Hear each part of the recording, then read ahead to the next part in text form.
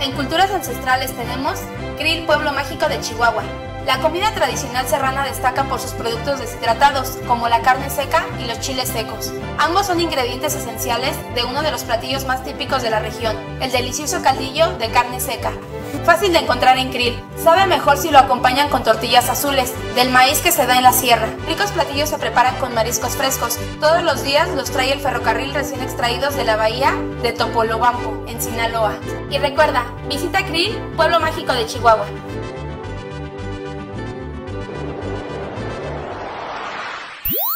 Y recuerda que estás en Expresarte MX, donde el artista eres tú.